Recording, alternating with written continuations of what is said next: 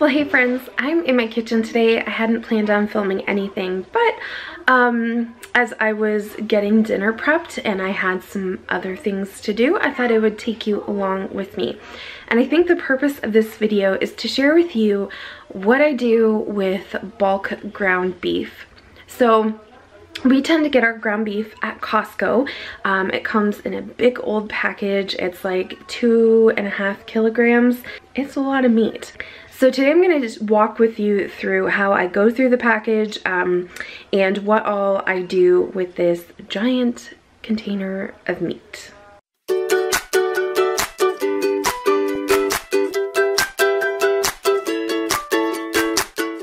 Okay, so first of all, I have my little digital scale here.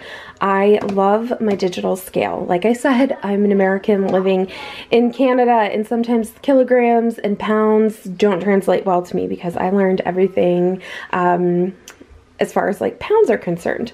So anyways, I use this a lot to make sure that I'm getting like one pound increments of ground beef. And I use my scale for a whole lot of reasons, but that is just one of them. So I weighed this out. We are going to have tacos tonight and one pound of ground beef does my family really well. We actually have a little leftover um, for the following day for um, taco salad like leftovers. So I weighed this out and this is exactly one pound. So I'm just gonna set this, um, actually I'm just gonna stick it in my pan right now. I'm gonna put a little oil in there and get that all going, but um, just for the purpose of right now, it's gonna go in there. So this is the package that I am talking about. Um, I have a bag here underneath so that the container is not actually sitting on my counter just to try and keep any contamination out of my kitchen. um, anyways, this whole package cost me $20.31. It was actually 2.712 kilograms. So I am going to divide up this meat into um, several different meals. I am not just going to throw this whole thing in my freezer and I am going to prepare some of this for other meals. I'm going to make my own homemade meatballs and I'm going to make some uh, hamburger patties. So I'm going to take you along with me. We're going to see how far this meat stretches and then if I have any left over, we'll decide what we're going to do from that point. But for now, I'm going to go ahead and weigh out the meat that I need for my meatballs. I'm going to double the recipe, which means I need three pounds of ground beef. Normally, it's just one and a half pounds, um, but when I make meatballs, I do like to um, double the recipe. So we're going to go ahead and weigh that out. Okay, for sanitary purposes, I did not film that so I could have my hands free and clear and wash them well um, before I picked up my camera. So this is exactly three pounds of meat. Like it's just really spilling over there. Um, and I'm to go ahead and dump it into my bowl and I'm to work on my meatballs in just a few moments. This is what I have left. So I think I'm to go ahead and make hamburger patties out of this. Um, I think we'll do hamburgers tomorrow night for dinner. And I'll just go ahead and get the patties ready and into the fridge so that when tomorrow it comes time for dinner, I can just easily make them and we'll see what is left. I don't think there's going to be anything left out of this package once I'm done with that.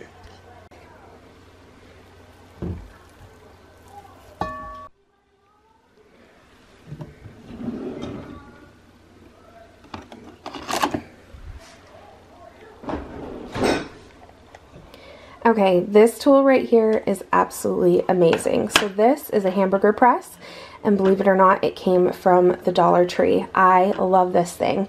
Um, it makes perfect uniform um, hamburgers and it cost me a dollar. This thing rocks my world and I love it.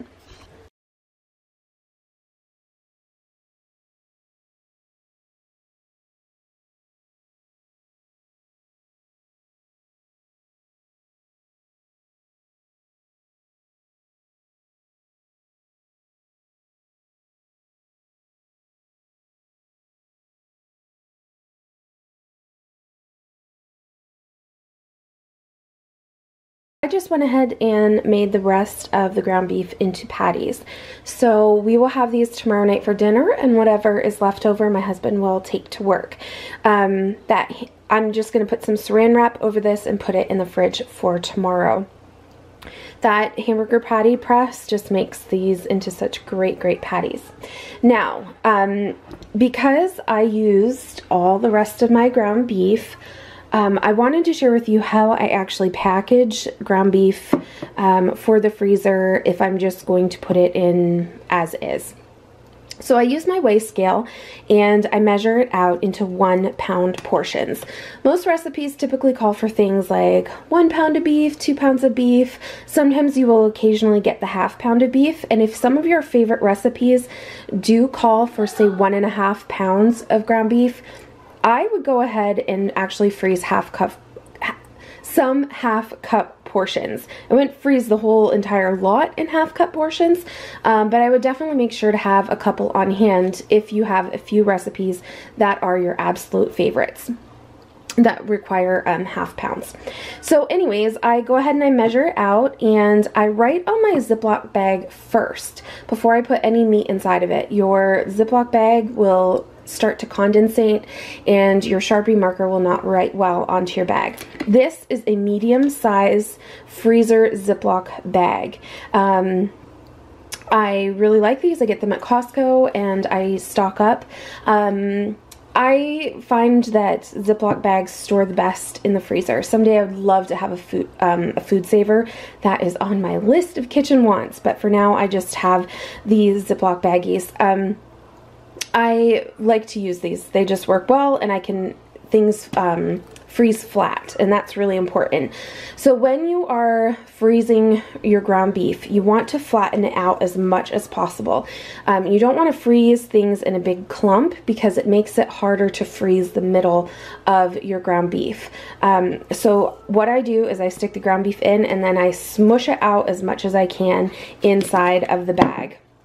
I get all of the air out that I most possibly can because air is the thing that's going to ruin your meat. Um, it's going to cause uh, crystallization and that's just, we don't want freezer burn by any stretch of the imagination.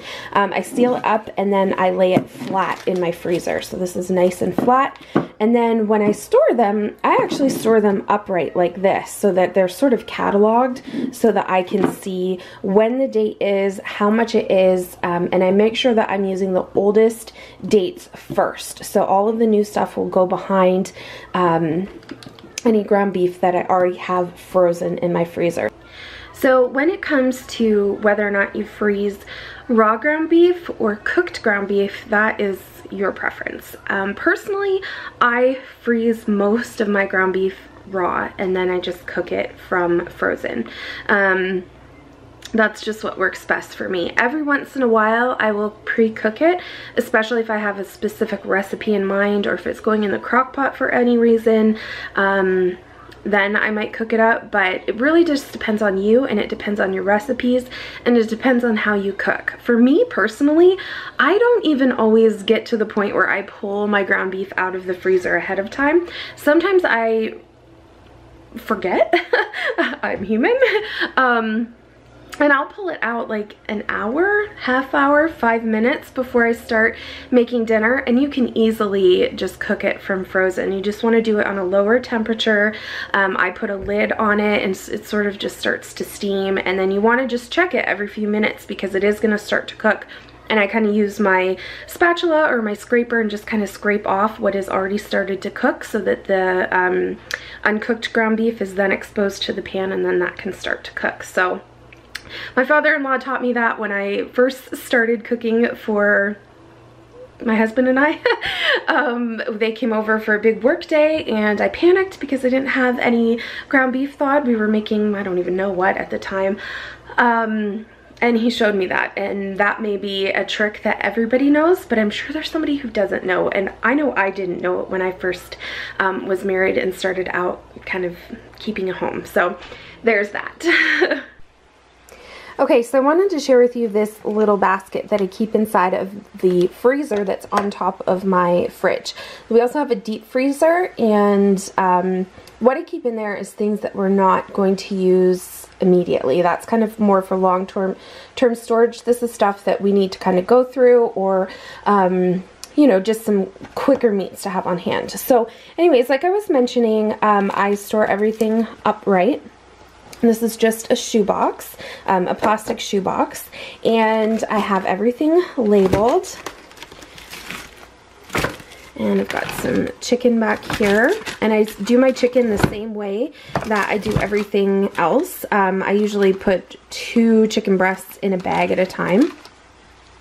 And then I've got some of these smokies and then some hot dogs. And then in the bottom here are some two um, beef tenderloins. So this just goes into my freezer like so. I'll show you it in the freezer, but I wanted to pull it out and just kind of give you a little better peek. Okay, so this is how it looks in my freezer. This is the bin right here. Underneath I have some chicken bones, one extra butter, and what else is in here? Um, cream of chicken soup that's like homemade. Um, that I can use in recipes. So that's what's down in there. Uh, things I don't really need to access, um, but I can easily just pull this out. And then I've got, we went grocery shopping yesterday and we got a lot of frozen things, um, but this is mostly like frozen vegetables and fruit, bone broth, and more vegetables and fruit. So when it comes to making my meatballs, I'm going to flash freeze them and I'm going to pull my ice tray out so that I can put my um, baking tray up on top here and let everything freeze um, so that they don't freeze in one big clump. But I'll show you that as we get closer to that point. So as you can see, I am filming as I am doing dinner. It's just kind of um, doing everything in between the pockets of my day. So I wanted to share with you this particular tool right here. I love this thing. This is actually from Pampered Chef. I've had it for a few years and it's just um, designed to break up your hamburger meat. It is awesome sauce and I highly, highly recommend this tool. This is one of my favorite kitchen gadgets. Um, it works just so well to make your hamburger smaller and not in big old clumps. I love this thing. Okay, so dinner is done and I went ahead and I added all the ingredients for my meatballs into my bowl and I'm gonna go ahead and mix everything up. You can use a spatula for this, um, but honestly, I find that your hands work the best. Mine are nice and clean and I'm just gonna go ahead and mix everything up. Okay, so my meatball mixture is all mixed up. Um, I have got my baking tray right here. And to make everything uniform, I just use a tablespoon measure. Um, and then I'm able to just kind of scoop up and put the balls nice and close on the tray. And then this will go in the freezer to flash freeze.